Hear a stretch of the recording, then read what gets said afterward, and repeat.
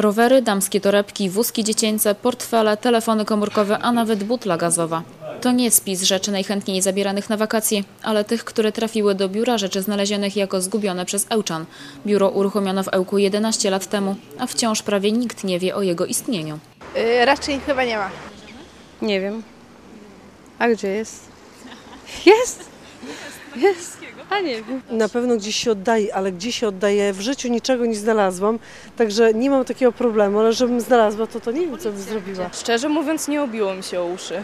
W biurze rzeczy znalezionych najwięcej jest zdezolowanych rowerów. Niektóre nie mają na przykład koła. Z kilku można by złożyć jeden.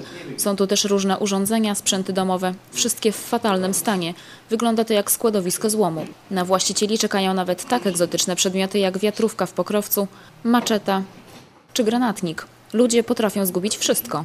Jeśli ktoś znajdzie jakąś rzecz, to powinien zgłosić się do biura rzeczy znalezionych, chociaż zdarzają się przypadki, że ludzie nie wiedzą i zgłaszają się na policję. Wtedy policja jest pośrednikiem, ponieważ ona dopiero zdaje do biura rzeczy znalezionych te przedmioty. Ełczanie odnalezione przedmioty zanoszą z reguły właśnie na komendę policji. Na policję chyba bym powie, za, za, po, mm, zgłosiła, jakby stał rower. Kiedyś mi w życiu ukradli dwa. Się nigdy nie znalazły. Oddać na komendę. Niestety. Może ewentualnie na policję, jeżeli to są jakieś dokumenty. A tak jak jakieś taki, coś z takich rzeczy znalezionych bardziej, to nie, nie mam pojęcia. Gdy coś trafi już jednak do biura, przechowywane jest tam przez dwa lata. Jeśli właściciel nie zgłosi się po swoją rzecz, ta staje się własnością znalazcy. Jeśli i znalazca jej nie chce, przedmiot przechodzi na własność Skarbu Państwa.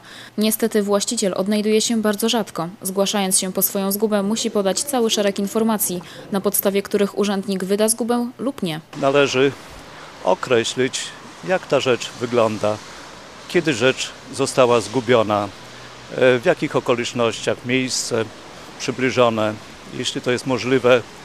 No dalej należałoby podać jakieś numery fabryczne, ewidencyjne, jeśli są na tej rzeczy. Do biura rzeczy znalezionych trafiają rzeczy pozostawione na przykład na ulicach czy cmentarzach. Nieco inne zasady obowiązują, gdy znajdziemy coś w urzędzie czy w autobusie. W budynkach użyteczności publicznej, jeśli coś zgubimy, prawda, to znalazca tej rzeczy nie zdaje do biura rzeczy znalezionych, ale do administratora tego budynku, obiektu. No, oprócz budynków użyteczności publicznej dotyczy to jeszcze środków komunikacji publicznej, e, powiedzmy, no, y, obiektów kultury, prawda, teatrów, kin. Biuro Rzeczy Znalezionych mieści się w starostwie powiatowym w Ełku przy ulicy Piłsudskiego 4 w pokoju numer 31.